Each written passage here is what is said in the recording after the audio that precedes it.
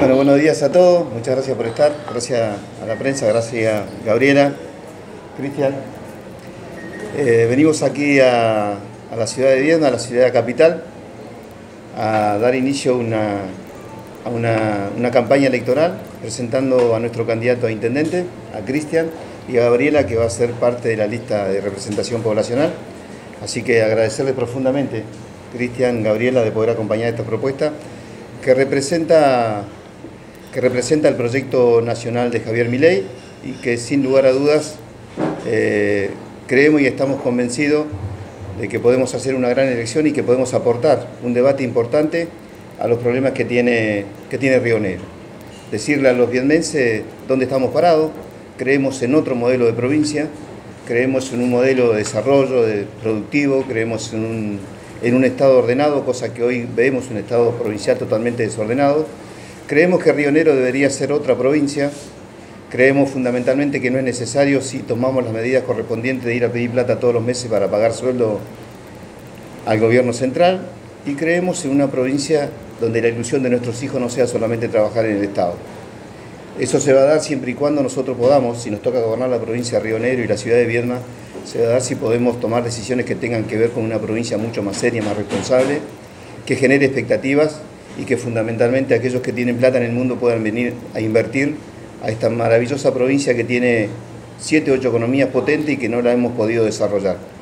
Creemos en, el diálogo, en los consensos, no solamente con toda la estructura política de la provincia de Río Negro, sino también con el empresariado. Nosotros creemos que el empresariado tiene que formar parte de la vida diaria de todos los rionerinos y de los argentinos y son ellos los que pueden venir a invertir para que, vuelvo a reiterar, la ilusión de nuestros hijos no sea solamente trabajar en el Estado. Ese orden, ese, ese proyecto que tenemos en mente, seguramente se va a dar, se va a dar con gente valiente. Tanto Cristian como Gabriela son personas valientes que vienen a sembrar una semilla junto conmigo para que empiece a germinar rápidamente y poder llegar a, a gobernar esta provincia y por supuesto anhelamos profundamente de que, de que Cristian pueda gobernar la ciudad, la ciudad de Viena esta capital que está un poco desarraigada de la provincia de Río Negro, esta capital que tiene que tener, digamos, servicios esenciales que no lo tiene. Puedo hablar de educación, puedo hablar de seguridad y también puedo hablar de salud. Salud es un tema muy importante que tiene la ciudad de Viena y que no está resuelto, que tiene que ver con poner aparatología en los hospitales públicos y llenar de profesionales para que aquellos que no tienen obra social puedan atenderse. Se tiene que terminar en Viedma el viaje permanente de aquellos que necesitan la salud a la ciudad de Cipolletti. Así que todas estas cosas que seguramente se van a debatir en este transcurso de, estos dos meses y medio que quedan de campaña, queremos decir a los riolerinos que, las queremos debatir, que queremos aportar un granito de arena. Para los que no me conocen, en Viedma seguramente me deben conocer porque fui intendente ocho años, 2003-2011 de, Campo Grande, fui legislador ocho años, eh, fui presidente de bloque, estuve a cargo de la legislatura de la provincia de Río Negro. En ese rol que me tocó como presidente de la legislatura, fui el único vicegobernador que sacó los gastos reservados eh, a los legisladores en aquel momento. Esas decisiones las tengo, soy un hombre de convicciones y soy un hombre que confía en el trabajo, levantarse todos los días a trabajar. Así que este es el camino y por supuesto que quedo, tanto yo Cristian y Gabriela a disposición de ustedes. Eh, ¿Cómo es que un peronista coincide con los pensamientos de Milei? Porque vamos evolucionando, los partidos evolucionan y las personas también evolucionamos y por ahí nos equivocamos. Y creo que Milei es el único dirigente que despierta esperanza e ilusiones en los argentinos. Eh, y estoy convencido de que es necesario tenerlo como presidente de la nación y fundamentalmente tratar de que terminemos con esto con esta realidad que tiene la Argentina. Argentina está en el peor de los mundos. Este modelo nos lleva a la oscuridad más profunda, que tiene que ver con que todos los meses salen 20 millones de, cheques para pagarle a nuestra gente que no tiene trabajo, o algunos que tienen trabajo y lo reciben igual. Y 8 millones de personas somos los que aportamos para mantener todo este esquema que no, que no nos beneficia absolutamente en nada. Yo estoy convencido, totalmente convencido de que el, que el modelo y que los, que representan este modelo a nivel nacional están terminados y que no van a volver a gobernar Argentina nunca más. ¿Y cómo se revierte eso? Porque particularmente hay un déficit fiscal muy grande en Argentina. Tomando decisiones. Creo que el que venga a gobernar la Argentina, que seguramente va a ser un hombre o una mujer de la oposición, tiene que tomar definiciones que tengan que ver con ordenar la Argentina. No podemos de ninguna manera mantener esta estructura que tiene eh, el modelo nacional eh, porque no va a alcanzar la plata. Van a seguir emitiendo y vamos al, vamos al fin del, del mundo. Estamos afuera del mundo también. Los socios nuestros son países que están afuera del mundo y nosotros vamos por el mismo modelo creo que no es el camino. Y estoy convencido que los argentinos, y aquí Río Negro fundamentalmente también, va a cambiar. ¿Por qué va a cambiar? Porque no hay nada que los incentive. O sea, si nosotros hacemos más de lo mismo y votamos más de lo mismo, el resultado dentro de cuatro años va a ser el mismo. O sea, sentido común. ¿Qué puede, qué puede, qué puede cambiar en Río Negro si Alberto Beretinec vuelve a ser gobernador de la provincia de Río Negro? No va a cambiar nada, porque los actores son exactamente los mismos. Y las medidas que van a tomar lo van a llevar seguramente al mismo resultado que tiene hoy la provincia de Río Negro, una provincia que es rica y que parecemos ciudadanos pobres. Y también quiero advertir, mencionar a los intendentes, tienen que dejar de gastar plata en la política. Los intendentes tienen que empezar a poner en caja las municipalidades. Si me toca, si me toca gobernar la provincia de Río Negro, no le voy a dar más plata a los intendentes que no ponen en caja las intendencias. Hace muy poquito tiempo, hace 15 días atrás, 36 de 39 intendentes recibieron ATN, millones de pesos, para seguir manteniendo la política. A los que gobernamos bien, a los que tenemos las cuentas ordenadas, seguramente no nos dieron absolutamente nada. Desde que soy gobierno no me han dado ninguna ATN, porque tengo las cuentas claras, porque sé administrar y porque creo que el orden es la base fundamental para crecer. Si no, vayan a Campo Grande y vean. Ese modelo de Campo Grande lo quiero trasladar a la provincia. Así que creo que es el camino, el camino, el camino del trabajo, el camino del, orden. Eh, y por supuesto que está más de decir que los problemas estructurales que tiene, que tiene Río Negro son los, los mismos problemas estructurales de hace 20 años atrás.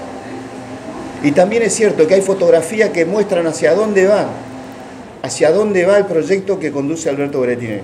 Esa, esa fotografía con Daniel Sartor me parece que atrasa 30 años. Esa fotografía con los sindicalistas de Bariloche atrasa 30 años. Ese es el camino que quieren recorrer el proyecto que encabeza el actual senador nacional Alberto Beretine. Ariel, eh, como bien apuntabas, ha cumplido muchos cargos en esta provincia, por ende conocemos tu forma de, de trabajar. Es un tipo de genera consensos, el diálogo permanente. ¿Cómo se presenta a ley con un carácter tan agresivo y que está alejado de esa línea que vos tenés? Bueno, yo lo que creo es que por ahí necesitamos eh, dirigentes diferentes. ¿Cómo nos ha ido con los dirigentes que por ahí son demasiado buenos o por ahí tienen experiencia de gobernar? los otros días un colega tuyo me preguntaba, ¿cómo va a gobernar mi ley si no tiene experiencia? Y yo le respondí, ¿cómo nos han gobernado los que tienen experiencia? Tiene que haber algún primer momento. ¿Se entiende? Yo creo que no, hemos sido parte de todo, porque tampoco, tampoco eh, me desentiendo porque he sido parte. Yo soy de la política, yo reivindico la política. ¿Sí? Porque a mí la política, a mí, yo no me pongo el sallo de la casta política. Porque a mí la política me permitió transformar realidades. Y, soy, y estoy orgulloso de hacer política. Y tengo muchas pero muchas ganas de ser gobernador de esta provincia, porque creo que Río Negro merece, merece ser otro Río Negro, no este Río Negro, eh, digamos, aburguesado, parecemos una provincia del norte pobre, y a los rionerinos les, les digo que piensen el día que vayan a votar, que ya no estamos pareciendo una provincia, digamos, que no tiene destino, que la ilusión, vuelvo a reiterar, de muchos jóvenes es trabajar en el Estado. ¿Y por qué, por qué esa ilusión? Porque no hay inversión privada, no hay otro horizonte donde los jóvenes pueden ir a buscar trabajo. El camino es este, hay que tomar definiciones y por supuesto que aquellos que le vienen a mentir a los riolerinos a decirles que le van a transformar la realidad en un año, le están mintiendo. Esto tiene que ser gradual. Río Negro no mejora la situación en un par de años. Creo que Río Negro, si se toman las medidas correspondientes, puede llegar a mejorar la situación en tres o cuatro años para adelante. Eso es lo que yo represento. Y decirle a los riolerinos que no tengo absolutamente nada que ver, o no tenemos absolutamente nada que ver con este modelo. Y lo identificamos al actual gobernador, al actual, perdón, al actual senador candidato a gobernador Alberto Beretier, con este modelo que representa Alberto Fernández. No lo digo yo, las acciones, la fotografía, levantar la mano en el Congreso de la, Nación, cada vez que hay una ley que impulsa el kirchnerismo, bueno, ahí está Alberto Berenino. O sea, que lo que representa a él es eso, nosotros representamos otro modelo. Papá Tico, eh, ¿de dónde viene su origen político y cuál es su proyecto para la ciudad? Eh, mi origen político viene de, la Universidad del Centro Estudiante, o sea, arraigado inicialmente eh, de, ser inclusive presidente del Centro de de la provincia de Río Negro en Capital Federal durante un, lapso de tiempo. Eh, para la ciudad capital, nosotros, nosotros lo que queremos es mejorar, mejorar eh, todos los aspectos donde encontramos falencias. Tenemos un equipo de trabajo que, o sea, donde empezamos a apuntar las deficiencias de 10 años hasta ahora, que son notables en, la provincia de Río Negro el vecino, el vecino sabe de que caen 60 milímetros de agua y, acá en Viedma son los mismos barrios que se inundan y que no tuvieron una solución de 10 años de, atrás hacia adelante. Eh, ¿Cuántas calles asfaltadas, cuántas calles pavimentadas hay en Viedma? De 10 años de atrás hacia adelante. O sea, nos hicimos un, montón de preguntas y armamos un lineamiento de trabajo. ¿Qué queremos llevar adelante? Por supuesto. Eh, eso es, y yo quiero para Viedma, para Viedma como, como, como hijo de acá de Viedma, como para mi ciudad, quiero lo mejor. Quiero que Viedma eh, sea la ciudad capital de la provincia de Río Negro como se lo merece. Viedma, se, merece, se merece tener lo mismo que tienen las capitales de provincia que conocemos, por ejemplo, Córdoba, empresas, las pymes, pymes eh, que tienen eh, que tienen origen internacional, por ejemplo, Arcos Dorados, acá en Viedma, ciudad capital de la, de la provincia de Río Negro, no, no, no tenemos McDonald's, no tenemos Starbucks, no tenemos multinacionales que, que, vos decís, ¿cómo puede ser? Es la capital de la provincia. no hay agencias. No, no, hay, no hay agencias. tenemos al Vasco en Viedma. ¿Sí? El mejor supermercado. Sí. Eh, yo me refiero a, pymes, pymes que, impulsen más el trabajo privado, digamos. ¿sí? Eh, que haya más, más, trabajo privado. No, no tanto, ¿Vos tanto... que el parque industrial de Viedma está en absoluto desmedio en relación al Parque Industrial de Patagones, porque aquellos en Patagones no pagan ingresos brutos, se van a cumplir 25 años sin pagar ingresos brutos. Mientras que acá eh, esa es una diferencia notable, por eso muchos de los que están acá se están yendo a Patagones.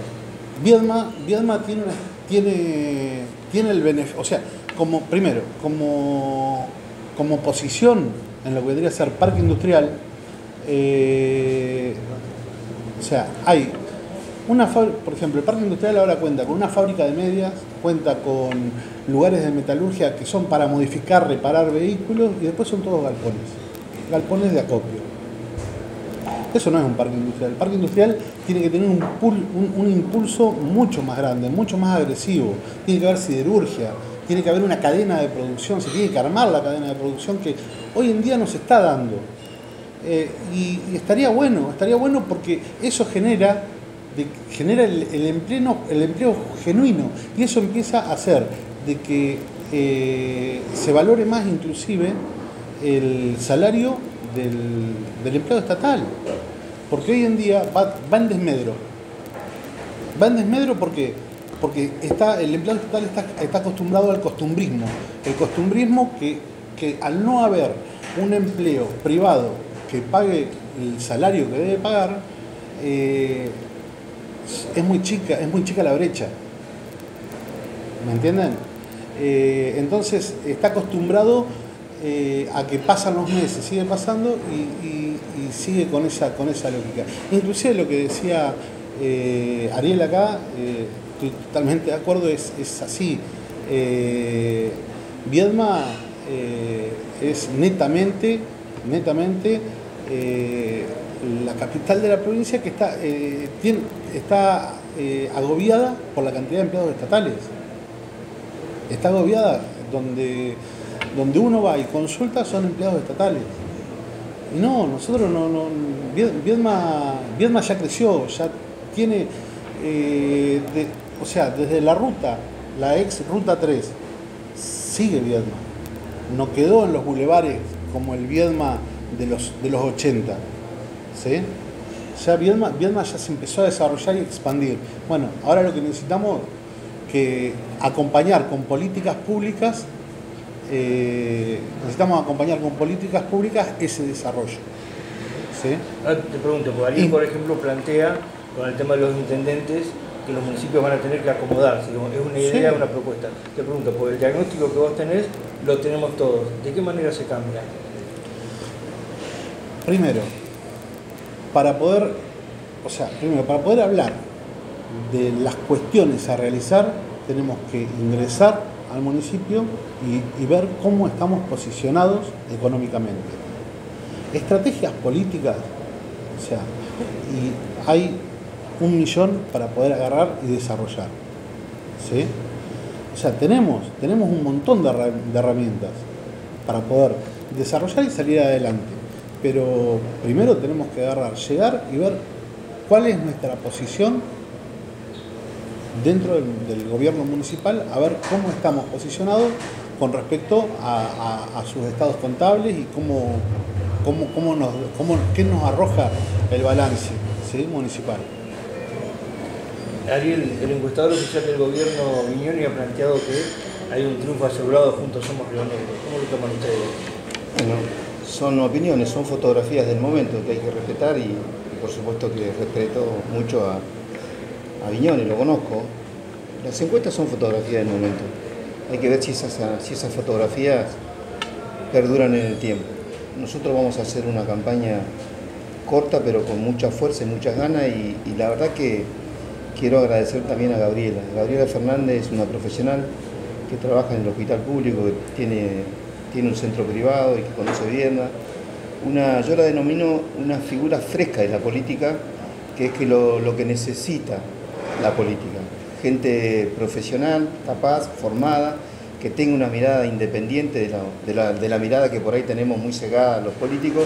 Así que la verdad que incorporarla a ella, eh, a este proyecto, ella va a ser legisladora eh, de Vierna o de Río Negro, porque va a estar en la, lista de representación poblacional en tercer lugar.